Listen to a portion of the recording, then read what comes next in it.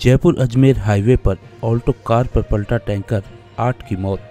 दरगाह जियारत को जा रहे थे सभी कार सवार। हादसा इतना भयंकर था कि घटना स्थल पर लोगों की अफरा तफरी मच गई। घटना की सूचना मिलते ही पुलिस पहुँची मौके पर और स्थानीय लोगों की मदद से फंसे हुए शवों को कार से निकालकर अस्पताल पहुँचाया गया। दूदू से बड़ा सोली तक पाँच ब्रिज बन रहे हैं। और एक ब्रिज एक किलोमीटर, सवा किलोमीटर के बीच में उसकी खुदाई बनाई चल रही है। वो काम चल रहा है।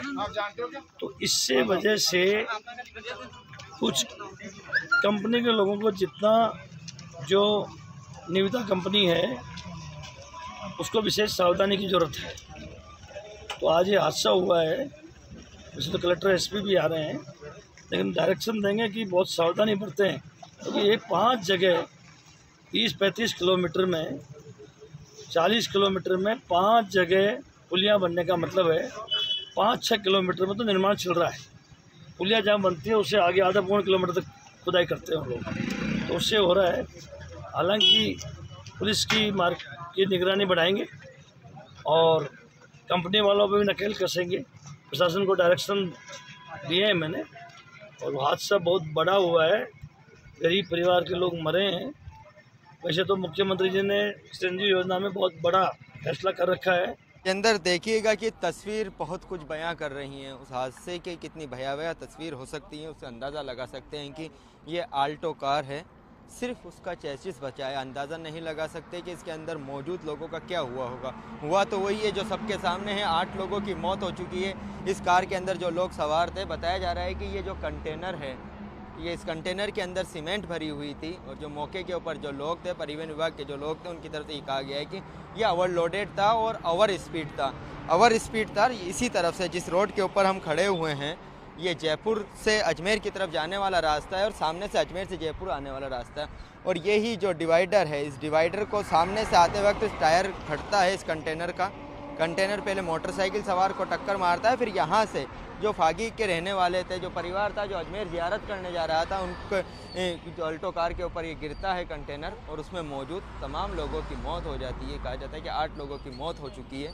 फ़िलहाल सभी के शव पोस्टमार्टम के लिए जो दूदू का जो अस्पताल है, वहाँ पर मोर्चरी के अंदर ले जाया गया है।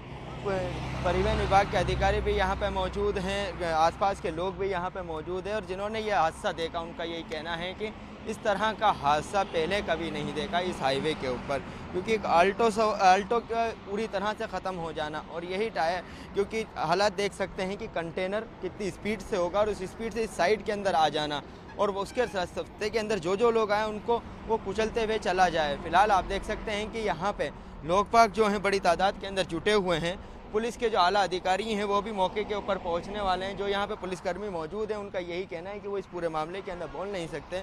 फ़िलहाल जो आला अधिकारी हैं, थोड़ी देर के अंदर आएँगे उन शवों का जो पोस्टमार्टम चल रहा है। लेकिन अहम बात यह है कि यही वो कंटेनर है, जिसके अंदर सीमेंट भरी हुई थी, और इसका ये आगे वाला जो टायर है, ये बताया जा रहा है कि आगे वाला जो टायर है, सबसे पहले ये फटता है। फिर ट्रक की जो स्पीड थी ओवर स्पीड थी ड्राइवर जो था, वो कंट्रोल नहीं कर पाया अनकंट्रोल होकर उस रोड के उस साइड से।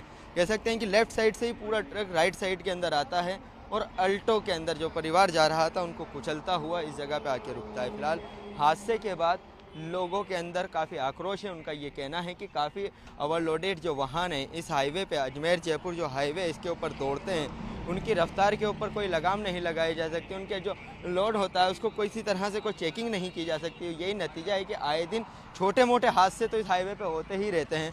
लेकिन इस तरह का बड़ा हादसा पहली बार हुआ है। फ़िलहाल आप देख सकते हैं कि बड़ी तादाद में तमाशबीन भी यहाँ मौजूद हैं, जो इस हादसे को देख कर उसको तस्वीरों को कैद कर रहे हैं। लेकिन विजेंदर ऐसा हादसा है, जिसको बयां नहीं किया जा सकता।